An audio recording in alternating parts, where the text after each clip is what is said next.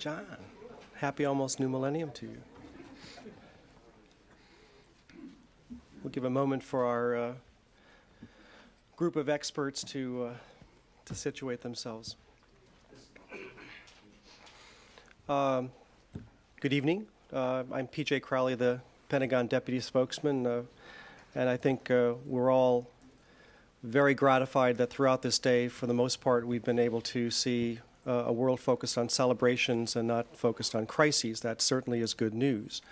Um, in the fine tradition of, uh, of Nicholas Burns, the former State Department spokesman, and as an avid Bostonian, I certainly want to express my hope that the curse of the Bambino is not Y2K compliant and that at midnight uh, the Yankees will have had their century of, of uh, winning streaks and the Red Sox will emerge as a once again a baseball power in the next century. and, you got one more year on this propaganda.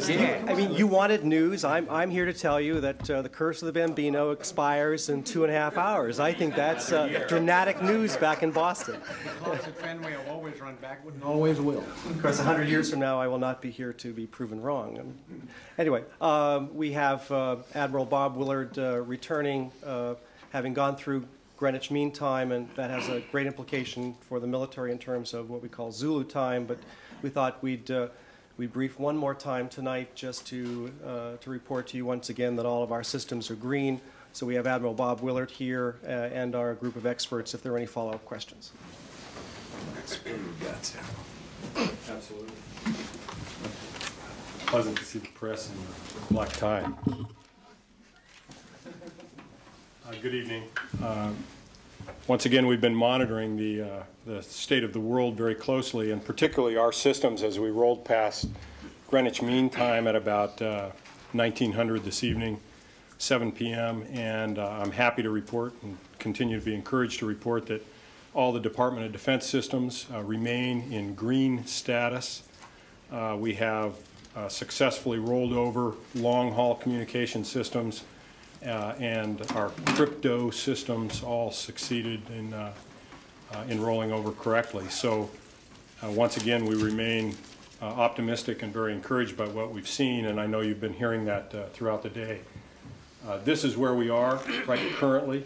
Recall that this chart is broken up by unified commander area of responsibility, Pacific Command, Central Command, European Command, Southern Command, and we have most recently rolled through the European Command, and we are currently out in the middle of uh, the Atlantic Ocean and approaching the east coast of the United States in terms of uh, the century rollover. So we've had a couple of hours to assess the European command systems, and it's been an area of great interest to us, not only because of the forces that we have there and the, the systems that we have there, but because of the large number of Department of Defense dependents and systems that are also there. Uh, so we remain uh, in good shape, and I'd be pleased to answer any questions that you might have uh, this evening. Yes, sir. Have you had any glitches, not in your most critical systems, but in some of the subsystems as you have watched them roll? Uh, yes, but not Y2K related. Uh, in fact, uh, just recently was we were working a system in the Middle East that experienced a communications glitch and uh, have resolved that it was not year 2000 uh, related and it's subsequently been corrected already. And again, I, I, think you would find that were you to ask that pointed question around the world today, that much like uh, we experience when we come to work, uh, the answer would be yes, of course. And we work our, you know, our, around our problems temporarily and then attempt to recover our systems.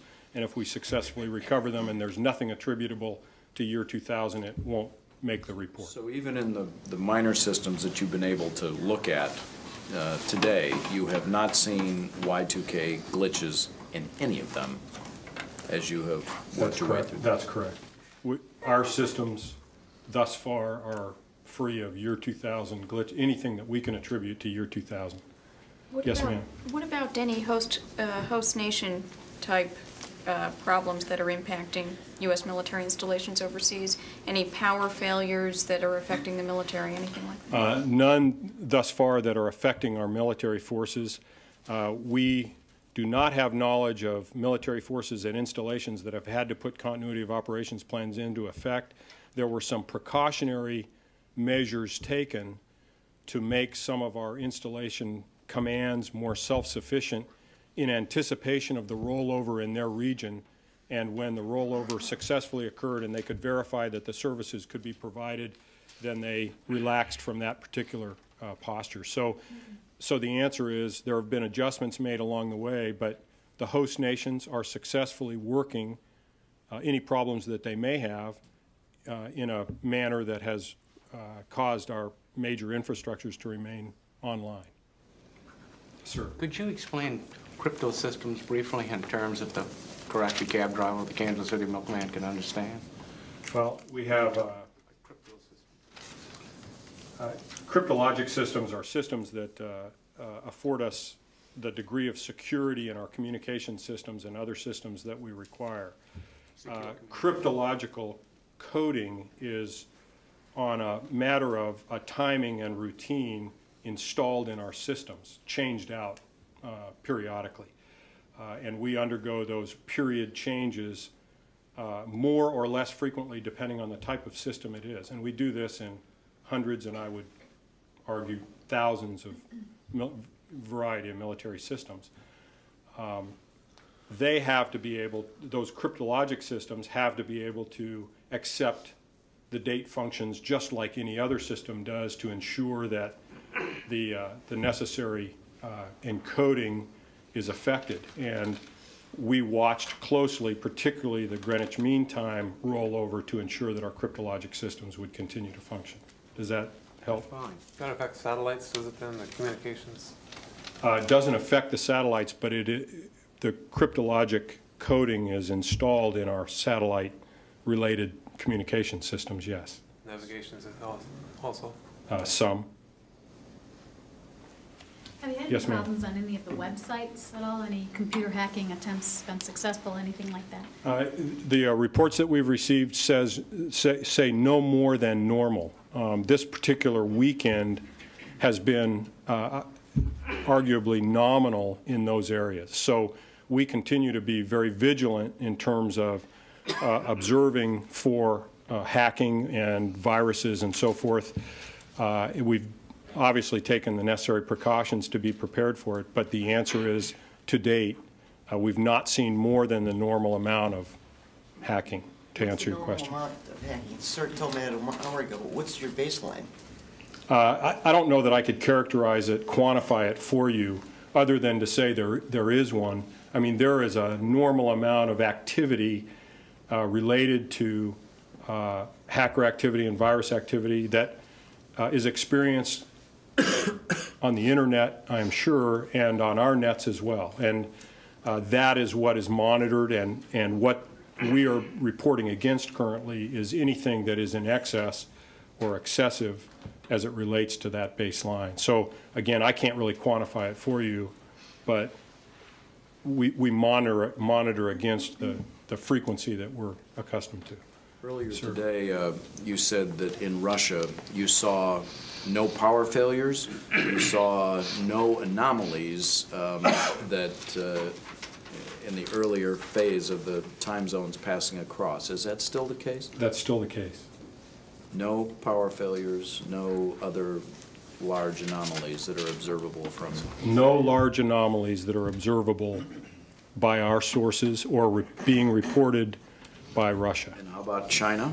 And how about North Korea? Same questions from this afternoon. Uh, The same answer, uh, that the, in- the major infrastructures within those countries that are being reported against have not, to our knowledge, failed, nor are those countries reporting failure.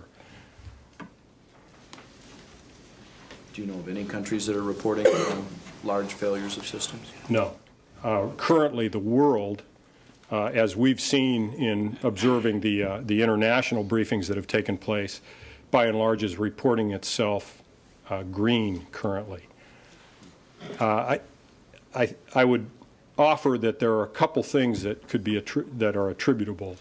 Uh, One is that the second teams throughout the world are not on watch tonight, for the most part. I think you would find that in major industry and throughout uh, the international community that the, the folks that are uh, watching over our systems, by and large, are expert in those particular areas. So as in the United States, I'm sure the rest of the world has uh, the right people monitoring their systems.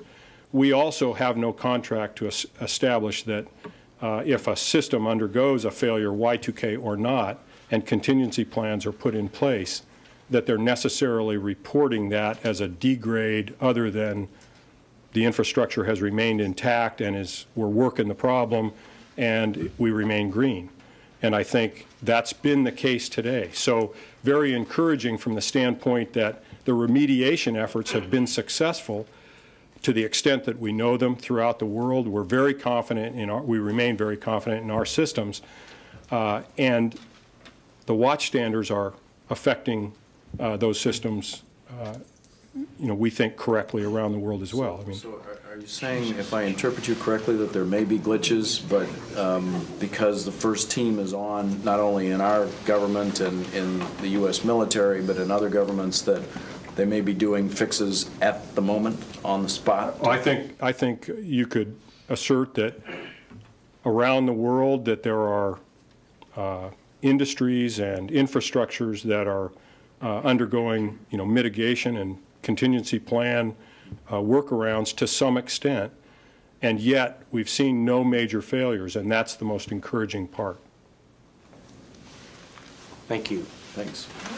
Uh-oh.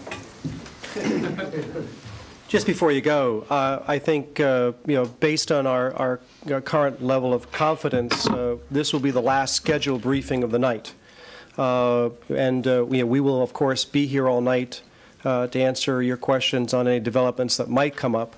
Uh, If we do see impacts where, uh, uh, where our our forces are affected through the night, but we will not uh, brief again tonight. Uh, We'll brief at noon tomorrow uh, with Dr. Hamre doing kind of an assessment at uh, more or less the, the the first day of of the new millennium. Very good. Thank you.